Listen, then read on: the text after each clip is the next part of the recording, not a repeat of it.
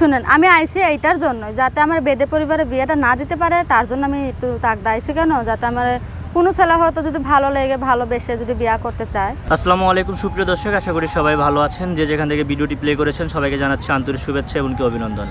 সুপ্রিয় দর্শক আজকে আমরা চলে এসেছি একটি নতুন আপুর কাছে। সেই আপুর নাম ঠিকানা এবং কি জন্য আমাদের কাছে এসেছে ভিডিও করার জন্য সব কিছু আমরা জানব তার কাছ থেকে। আসসালামু আলাইকুম। ওয়ালাইকুম সালাম। আপনার নাম? সুবর্ণ। আপনার নাম সুবর্ণা? হ্যাঁ। আপনার বয়স কত?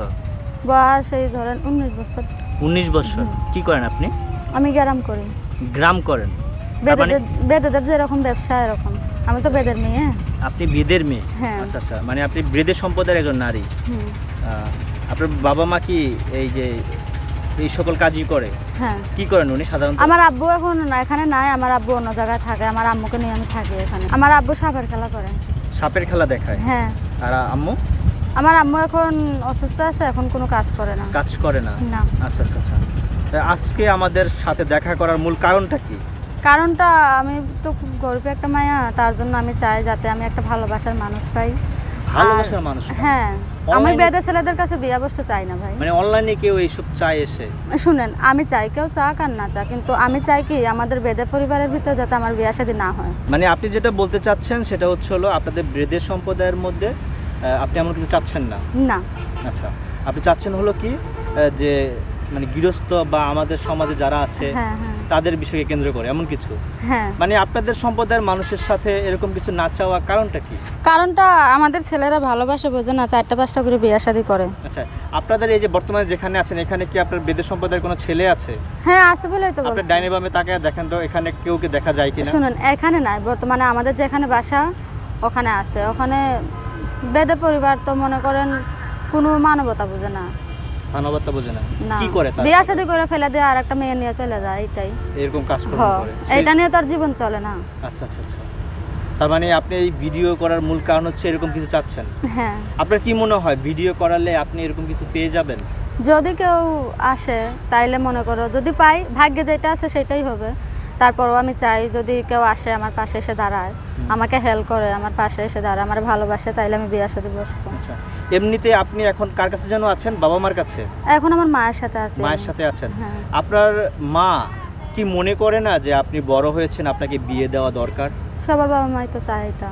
সবার মা বাপ মা চায় না? হ্যাঁ, আপনার বাপ মা চাচ্ছে এরকম কিছু? হ্যাঁ চায় তো আমার বিয়ে দিতে মানে চায়। তাহলে তো তিনি উদ্যোগ নিয়ে আপনার এই বিয়ের ব্যাপারটা তিনি দেখবেন। আপনার কি মনে হয়?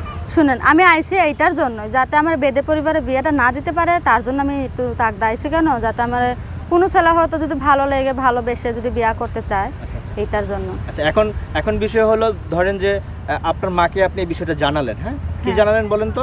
যে আপনি একজন গৃহস্থ ছেলেকে বিয়ে করতে চান সেক্ষেত্রে কি সে মানবে বিষয়টা? হ্যাঁ আমার আম্মুরে বলেই আমি আসছি। আম্মুরে বলেই আসছেন হ্যাঁ। আচ্ছা আচ্ছা। তো এখন এই ভিডিও করার মূল কারণ হচ্ছে হলো একটা ভালো ছেলে যদি আপনাকে পছন্দ করে। হ্যাঁ। এখন তো অনেক ছেলে এখান থেকে আপনাকে দেখে পছন্দ করতে পারে প্রপোজ করতে পারে সেক্ষেত্রে আপনি কি করবেন? প্রপোজ করাটা মনে করেন ভালোবাসাটা একটা ভালো লাগাটা একটা আচ্ছা আচ্ছা তাই আচ্ছা। না? সংজ্ঞা আছে না? বাহ অনেক সুন্দর করে বলেছেন। এই পর্যন্ত প্রেমে পড়েছেন তাহলে আপনি? না প্রেমে পড়ি নাই কিন্তু তাহলে এরকম বিশ্লেষণ ব্যাখ্যা কীভাবে দেওয়া সম্ভব আমার বান্ধবীরা প্রেম করছে না আমি দেখেছি। হ্যাঁ। আচ্ছা আচ্ছা। এই সব মেয়েদের কাছ থেকে এরকম প্রশ্ন শোনা যায় যে আমার বান্ধবীরা করেছে আমি দেখেছি। হ্যাঁ। আপনি কখনো তো পড়েননি না? না শুনেন একটা সত্যি কথা বলতে কি আমি একটা ছেলেকে ভালোবাসতাম ভাই। আচ্ছা। ভালোবাসতাম কিন্তু ছেলেটা চলে গেছে। চলে গেছে? হ্যাঁ। মানে ও কি গৃহস্থ ছিল নাকি গৃহস্থ ছিল। গৃহস্থ ছিল? আপনাদের এলাকাতে না? না ও সৌদি আরবে থাকতো। Saudi Arab? হ্যাঁ। ওরে খোদা এত দূর কীভাবে ফোনে ফোনে যোগাযোগ হয়েছে ফোনে যোগাযোগ হয়েছে? হ্যাঁ। বেশ ভালো। যাক সব কিছু মিলিয়ে এখন বিষয় হচ্ছে যে আপনার এই ভিডিও করার কারণ হচ্ছে আপনি একটা মনের মানুষ চাচ্ছেন। মনের মানুষ চাচ্ছে আর যাতে আমাকে হেল্প করতে পারে। আপনাকে হেল্প করতে পারে। কি হেল্প করবে সাধারণত? ভালো ভালোবেসে যদি কেউ আমার পাশে এসে দাঁড়ায় সারাটা জীবনের জন্য ওইটার বেশি তো আর কিছু না। আচ্ছা আচ্ছা। তো সুপ্রিয় দর্শক আপনারা যারা এখন ভিডিওটা দেখছেন আপনাদের এখান থেকে যদি কোনো একজন সৌভাগ্যবান ব্যক্তি বা কি বলে রাজকুমার হ্যাঁ তাকে যদি দেখে যদি ভালো লাগে তাহলে অবশ্যই তার সাথে যোগাযোগ করবেন না? রাজকুমার? রাজকুমার হবে না কারণ প্রত্যেকটা মানুষের তো তার একটা রাজকুমার চায়। রাজকুমারের ভিতরে কি মন আছে কি না এটা জানেন? শয়তানির মন না ভালোবাসার মন এটা বলতে পারবেন? আচ্ছা আচ্ছা তো মানে রাজকুমারদের মনের ভিতর কি শয়তানি বেশি শুনেন থাকে? ভালোবাসতে যে সত্যিকারের ভালোবাসতে পারে সেই আমার কাছে আগে আসবেন না হলে আসার দরকার নাই কোনো। প্রত্যেকটা পুরুষ কিন্তু তার নিজের পার্সোনাল যে আছে স্ত্রী বলেন গার্লফ্রেন্ড বলেন হ্যাঁ তাকে কিন্তু একদম নিজের মনে করি ভালোবাসে। দুই নম্বর মনে করে ভালোবাসে না। কি বলেন একটা কথা কি ভালোবাসা দেখিয়ে তারপরে তো ফেলিয়ে দেওয়া চলে যায় ভাই। আচ্ছা, এরকমও হয় না? এরকম তো হয় অবশ্যই হয় তাহলে এখন যারা ভিডিওটা দেখছে তাদের উদ্দেশ্যে আপনি কি বলতে চান? আমি দর্শক ভাইদের বলি যারা আমার সাথে বন্ধুত্ব করবেন ভালোবাসতে চাইবেন তারা আমার পাশে দাঁড়াইবেন আর মনে করেন আমার ফোন নাম্বারটা দেবো ফোনের ভিতরে যোগাযোগ করবেন। তো সব কিছু মিলিয়ে আপনার এই যে রূপ সৌন্দর্য ক্যামেরার সামনে এসে দেখালেন তার একমাত্র কারণ হচ্ছে একজন বয়ফ্রেন্ড চান আপনি না জীবন সঙ্গী চান? জীবন সঙ্গী জীবন সঙ্গী ওয়ান টাইম চান না? না।